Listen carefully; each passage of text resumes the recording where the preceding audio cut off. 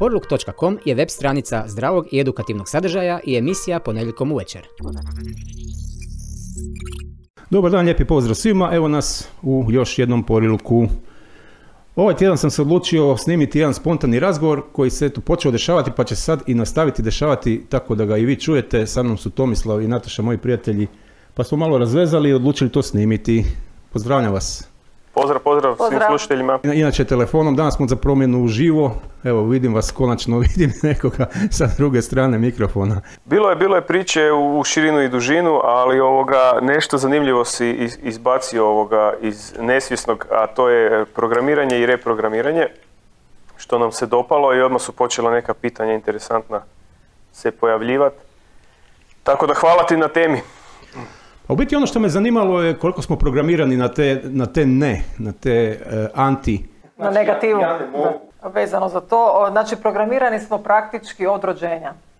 Znači, od kad ra- smo počeli pričati, od kad čujemo, jel, od kad smo došli u ovu dimenziju, e, sami roditelji nas već programiraju ne ovo, ne ovo, ne smiješ ovako, ne smiješ onako i to zapravo, to se provlači poslije kroz cijeli život, jel.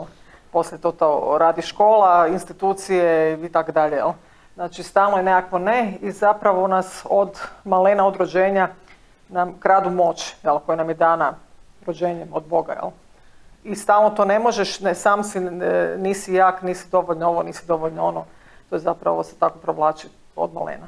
I to se onda istetovira nekako u glavi i ostaneš tako. Da. Zanimljivo mi je zašto baš tako ne. Da, to je radi lakše kontrole. Da nas lakše manipuliraju i kontroliraju. Znači u biti cijeli taj naš sustav oko nas se svodi na kontrolu, onda samo ovo što je kontrola države, kontrola, š- Da. sad što su teorije zavere, u biti samo proširena verzija ovoga. U, gotova emisija, vidi kako smo skratili to. Da. Odmah smo došli od rođenja do, do, Da, do da. države. A htio sam se nadovezati. Reci. Onda djeca u jednoj dobi, od ne znam sad, otprilike ću reći 6-7 možda godina, počinju izgovarati ne, jel? Znači šta god ti njima ponudiš, to svi znaju, pogotovo roditelji da ovaj, ponudiš jedno, on, on svakako hoće suprotno, šta god to bilo. Bez ovoga, e, hoću reći samo počinju reproducirati taj, taj ne nekakav, jel? Ali nije ovo tema danas to, nego e, da, ono, to se, to se utetovira, odnosno mislim prije rođenja, prije rođenja se počinje to događati zato što energetski e, majka nosi dijete i oni već komuniciraju, znači oni, on počinje tu dobivati nekakav taj kod koji je negativan, odnosno mislim svakakve kodove počinje dobivati, ne? Ali znači nekakve programe, odnosno dijete kasnije ima fenomenalnu situaciju, svaki čovjek koji više nije dijete, a, kad e, pročita, da tako kažem, jel, kad osvijesti svoj kod, odnosno program, on ga može, ako uloži napor i vrijeme, kako god hoćete, može ga reprogramirati. E, i to se događa često nesvjesno, ali se događa i svjesno. I sad, u oba dva slučaja treba neki napor, nesvjesni napori su nešto što mi ne znamo onda da se događa, dok je svjesno nešto znači ja želim ovo reprogramirati i sad se bavim time i time da mi to pomogne. Tako da je to. Da ne bi sad svi pali s Marsa o čemu mi pričamo, e, ovo je tema koja je jako bitna i u poslovnom smislu jer je tu taj ne protiv novca, znači mi nećemo novac e, iz raznih razloga, zatim je tu još bitnija stvar, to je zdravlje, znači ja ne mogu ozdraviti, ja nisam sposoban za ovo, ja nisam sposoban za ono, ne smijem toliko ne govoriti, poslije emisije će mi biti loše.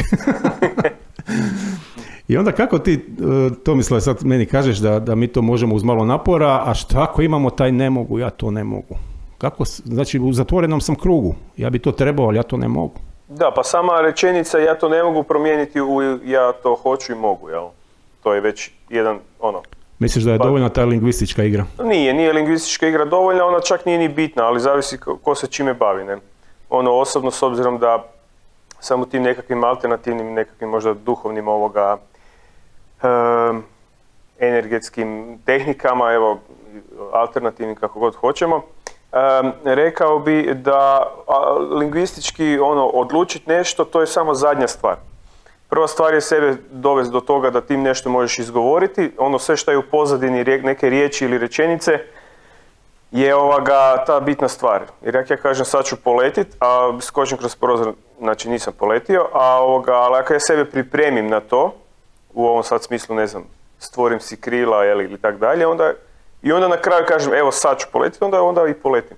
Tako je to energetski drugačije se to gleda, znači dolazi iznutra, iz središta, iz duše, iz eh, energetskog tijela, znači mi sebe pripremimo da kažem ja sam sad odlučio biti zdrav, ok, svjestan sam neću ove sekunde biti zdrav, može mi pomoći netko drugi ili ću si sam pomoći, ali ću ozdraviti kroz godinu, dvije ili tri. I tu imamo fenomenalne znači dokaze s tim stvarima koje mi radimo, a i sam imaš ovoga neke zdravstvene dokaze di prođe vrijeme i ti ozdraviš, e i to je, tu onda ti kažeš, e, izgovoriš neku rečenicu, a sve ovo u pozadini je bitno, čak i ako je onda ne izgovoriš, to je to.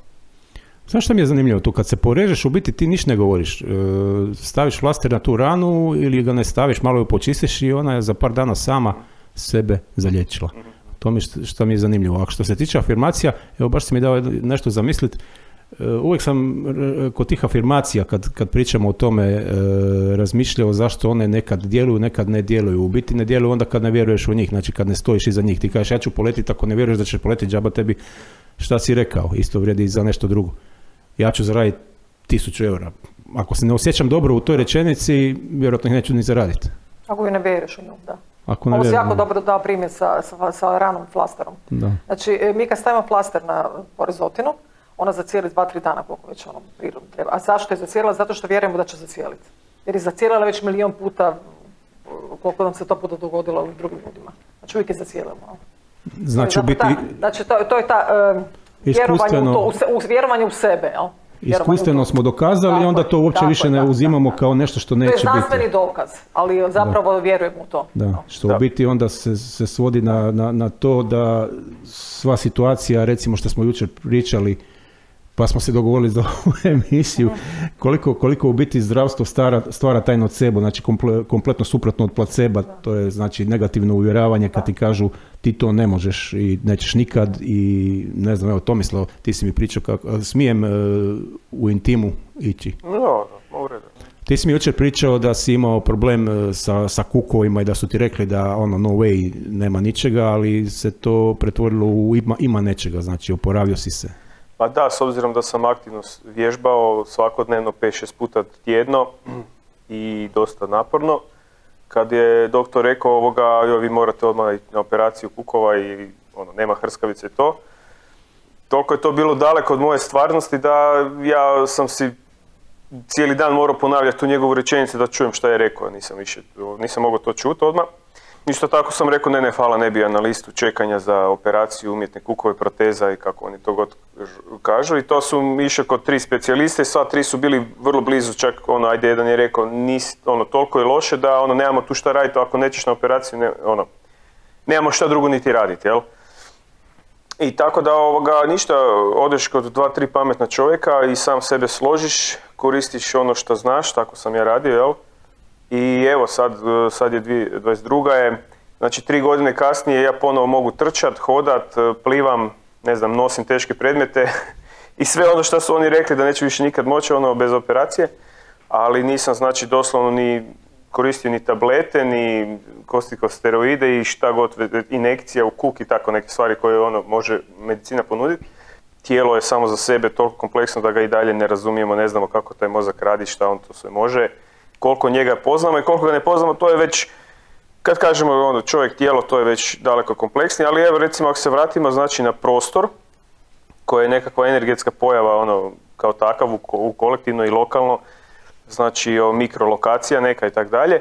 I tu se nekakve informacije događaju i tu se znači ako bi to preveo na nekakav kod, to je isto nekakva informacija, odnosno e, zapis, odnosno program nekakav u tom smislu sada ovoga što pričamo. To je jedna stvar, a druga a, voda. Recimo voda je nešto najjednostavnije, molekule i tako dalje, i to je nešto savršeno, mi to znači možemo svojim prisutnošću, svojom namjerom nešto tu isprogramirati. To je već reprogram onda i ok, znači ja sa nekakvim svojim mogućnostima koje znam i koje podučavam s drugim ljudima radim, događa se to da je običnu vodu programiraš da tebi bude nekakav doprinos postanu nešto što čovjeku je više od obične vode koje čovjek treba. Energiziraš si vodu s namjerom nekakvom da ta voda tebi bude za tvoje zdravlje, za čišćenje organizma i ovo što je sad svima aktualno, da te ta voda recimo štiti od čisti organizam jer svaki dan si sigurno primio nekakve ovaj, bakterije, bakcile. Znači u principu se vraćamo na to da je sve stvar namjere i sve stvar naše, naše volje. Dobro, zanimljivo. E, sada ćemo jednu zasvirati pa ćemo se vratiti na ovu temu. Dnevna doza pozitive. Porluk.com. Svakog ponedjeljka uvečer.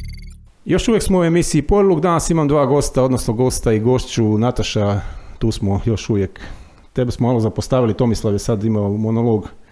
Pa da, dobro, Tomislav je to lijepo rekao, da, ali zapravo ima puno tehnika kako, kako se to čini, reprogramiranje ali zapravo već je puno samo, samo ta namjera pozitivna i vjera da, će, to zaista tako. Neko bi možda rekao da je to isto placebo, ali nije bitno, bitno da djeluje. E, pa placebo ili ne, ali to djeluje. Da, bitno da, djeluje. Da, da, to je zapravo... U krajnjoj liniji možda su i mnogi lijekovi placebo, tako da, ali bitno da djeluje. Da, to, to je točno, da, da, ali bitno da djeluje. Da. Vratimo se na ono ja ne mogu.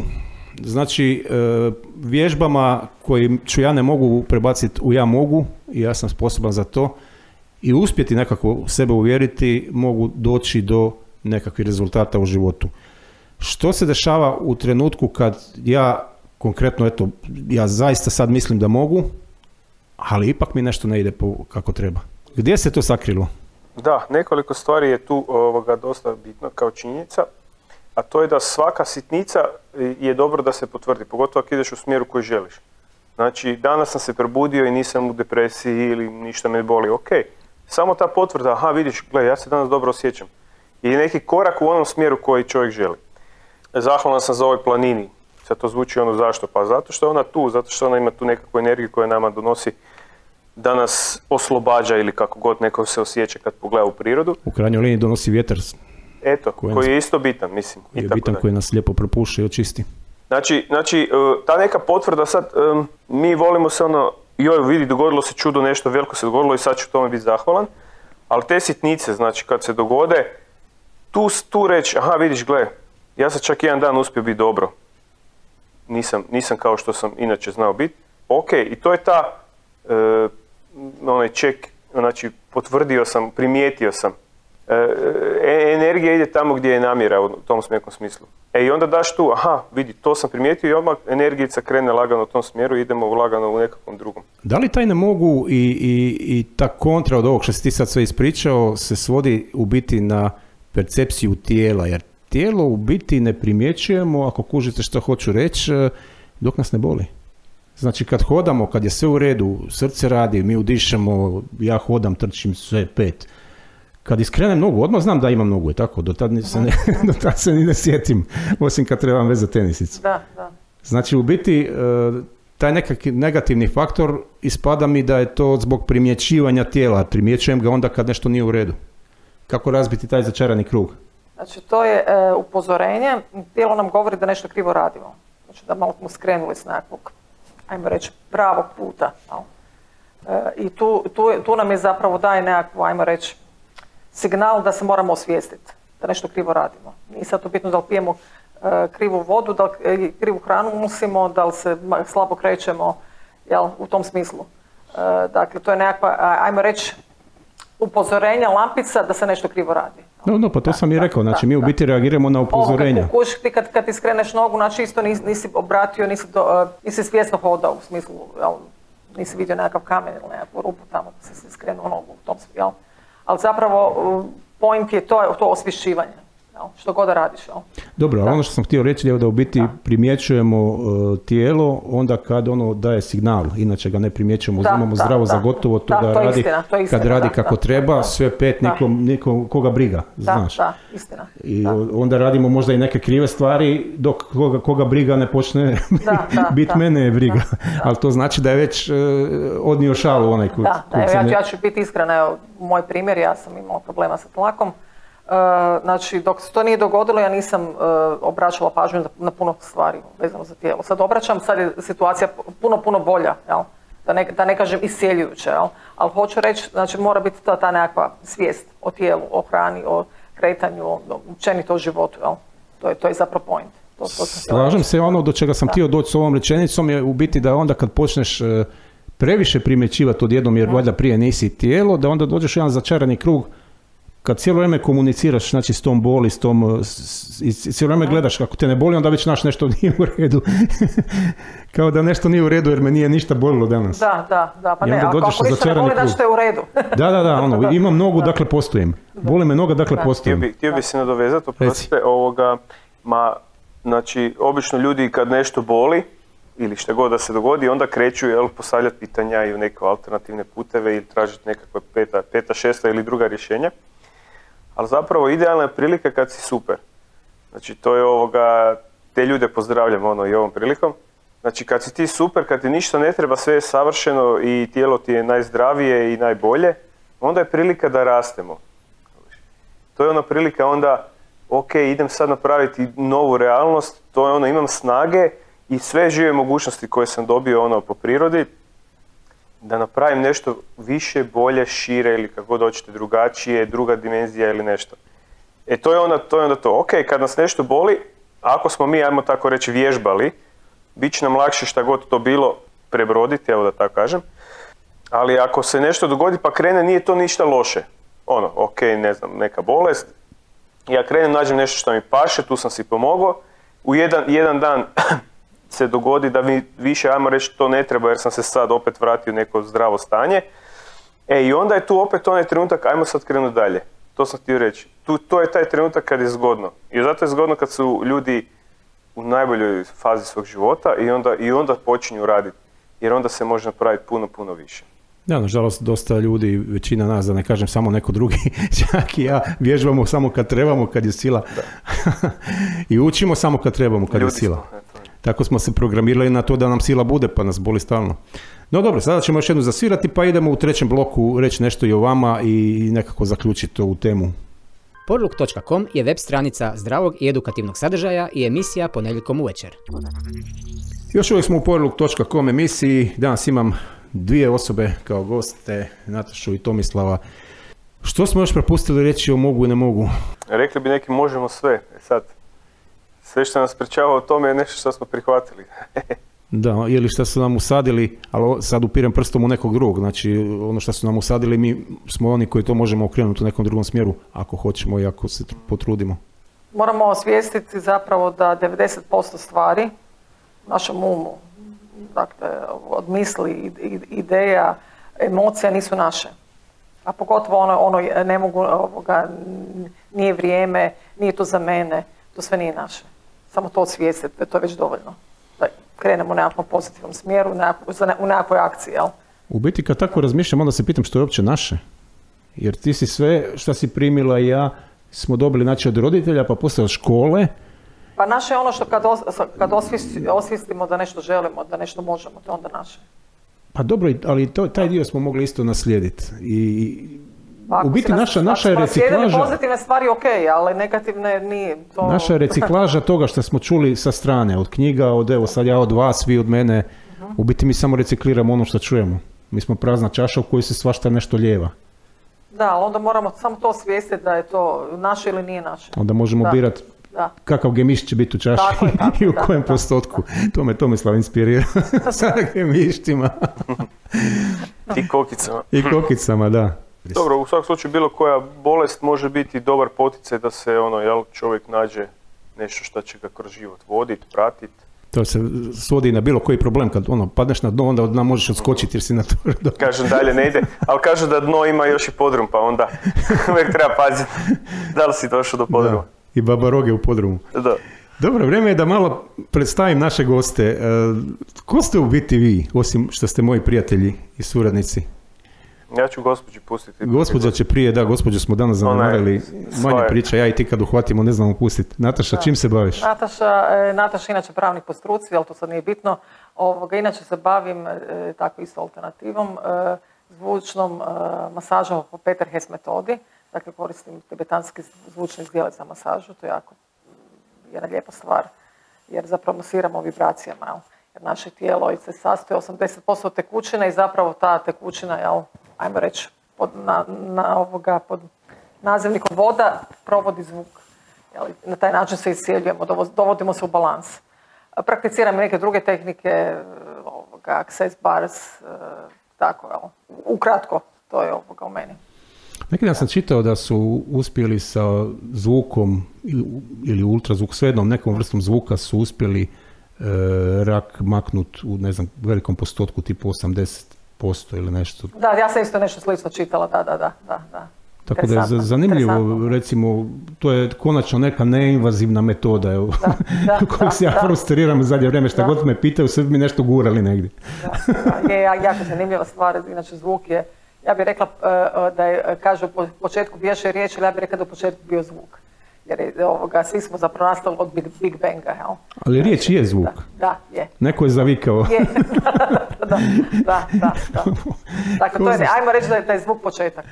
Ko zna šta je radio taj neko? da. Tomislave, čim se ti baviš? Ma evo, super mi zvuče, e, slušati to sa, sa, sa, sa, zvukom i općenito paše mi ta, ta, ta. Čak mi paše najviše masaža e, kad... E, Konačno neko ko voli slušati svoju ženu i njen zvuk. Da. Ne, u, dobro, kad je masaža onda se ne priča. ovoga, ne, nego volim da, da me masira, znači kada ovoga, mi ide oko tijela. I to je jako zanimljivo, evo baš ovaj. Čak bez dodira kad je zvučna masaža. znači nosi zdjele oko tebe? Da, da, da, da, da, To je znači, doslovno legneš na masažni stol i oko tebe se proizvodi, da tako kažem, zvuk sa tim zdjelama koji sad neću ja govoriti, nisam ovaj praktičar toga samo sam primavac. Ovoga, I to mi je, toliko mi to paše da je to fenomenalno. Evo, tako da se nadovežem na, na, na zvučnu masažu. Drugi put ćemo to i kamerom snimiti pa će ljudi moći vidjeti. Pa, znači to nisu ove zdjele sa sarmama za one koji ne znaju, to su zvučne zdjele, lijepe. Ja sam imao jedan set lijepi do nedavno. Sad planiram baviti druge, tako da znaš, da znam nešto o tome. da. što još to misle radiš? Da, ovo nije bilo, ovo samo, volim se masirati, tako da između ostalog i toga. da, ja sam znači već sad nekakvih 5-6, možda i više godina u Access Consciousnessu i tu primjenjujem sve što je u ponudi, da tako kažem, a inače 20 godina sam evo Reiki majstor i ono, jako puno klijenata je tu prošlo i tako dalje i tu se nešto, koliko god čovjek može se otvoriti, e, sam se otvarao i, i raso i tako dalje. I naravno da smatram se da što si napredniji, tako i u borilačkim vještinama koje sam trenirao, što si, što si dalje veće zvanje, veći pojas, tako tek onda dobro možeš naučiti nešto. Tako da i sad mogu reći evo da sam stvarno ono dobar učenik i fenomenalno mi se otvaraju neke stvari, e, neka polja, neke, neki prostori u kojima u, kojima kvalitetno radim sa drugim ljudima, a sve to je uvijek i rad nekako na sebi, tako da... Ono što mi se sviđa, što si lijepo rekao, a što sam primijetio kod nekih ljudi koji se bave, a svime, ne samo tehnikama ovako alternativnim, nego čak i ovim, e, bi rekao, običnim stvarima, medicinom i nešto, gdje oni misle da su svu pamet svijeta popili, a ti si sad rekao da si ti učenik i učitelj i da, da jednostavno rasteš kroz to. To mi se, sviđa mi se takva, takva percepcija s te strane gledano pozdravljam to što si rekao.